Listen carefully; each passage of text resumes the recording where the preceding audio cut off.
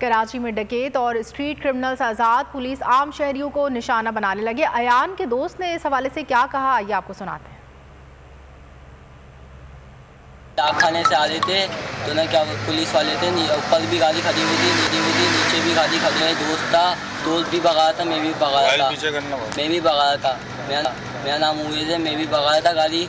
अंदर ना जब हम गए ना, अंदर तो पुलिस पुलिस वाले ने मेरा हाथ पकड़ लिया, उसी वक्त मेरी गाड़ी स्लिप हो गई। मेरी गाड़ी जब स्लिप हुई ना, मेरा दूसरा दोस्त ना, मेरे गिर गया था, मेरा दूसरा दोस्त ने पीछे भागने की कोशिश करी ना, वो भगाई करी उसने तो उसको तीन चार गोलियाँ मारी हैं, उसको चलाई गई है। तो ना क्या मैं, हम लोग सारे उसको बोल सारा बच्चा गिर गया। तो हम लोग ना उसके बाद भाग के गए तो उसके बाद देखा ना तो पूरी पूरी टूटी हुई हालत हो रही थी तो वो उठने की कोशिश करता था, गिर गया था हमारे सामने। मैं सर को बोल रहा हूँ, सर, जाने दें उसको। तो बोल रहा, हमारे सर से पूछो। तो सर सर बोल रहे, जी जी, अभी चले आएगा चले आएगा। और ना पता, तीन, चार थे पुलिस वाले बिना वर्दी के। वो वीडियो वीडियो बनाए थे तो ना हमारी गाड़ी मेरा सर मेरे दोस्त के, बहन के साथ बैठूँगा। वैन में बैठा ना मैं तो ना एक सिविल वर्दी बिना सिविल वर्दी का बैठा हुआ था उसके साथ।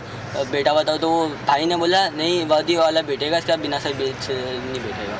अच्छा जब वर्दी वाले को बिठा रहे थे एंबुलेंस के अंदर तो कोई भी नहीं बैठा हुआ था दोनों कोई भी नहीं बैठे हुए ऐसी रही बात। अच्छा अस्पताल कहाँ पे लेके गए थे पहले अब्बासी।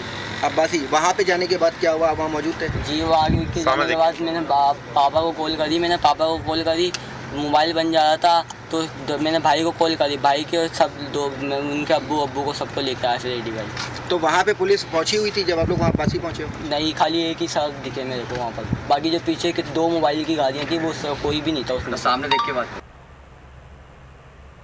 कराची में डकैत और स्ट्रीट क्रिमिनल्स आज़ाद। पुलिस आम शहरियों को निशाना बनाने लगी। तो नज़र आ रहा है सामने लिखा हुआ जुल्म मिटने के लिए। दो चीज़ों से मिटेगा भाई। एक अदल की कुर्सी पे जो लोग बैठते हैं ना वो अदल के हिसाब से फैसले करने लगे। दूसरा कौम निकल खड़ेगी उस जुल्म के खिलाफ। तो जुल्म खत्म हो जाएगा। या इन दोनों में से कोई एक चीज़ हो जाए या दोनों हो जाए।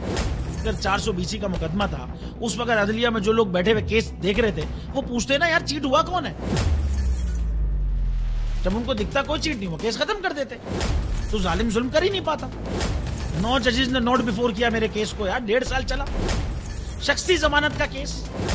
सेम केस इस्लामाबाद में कर दिया। एक एक ही इल्ज़ाम पे दो केस हो नहीं सकते भाई।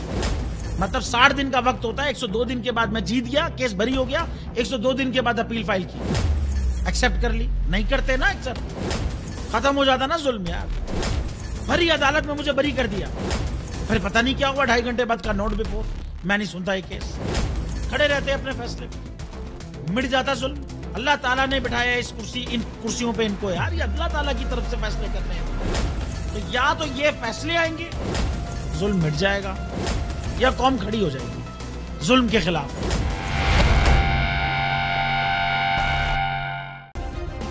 सब्सक्राइब करें और बेल दबाएँ ताकि कोई खबर रह न जाए।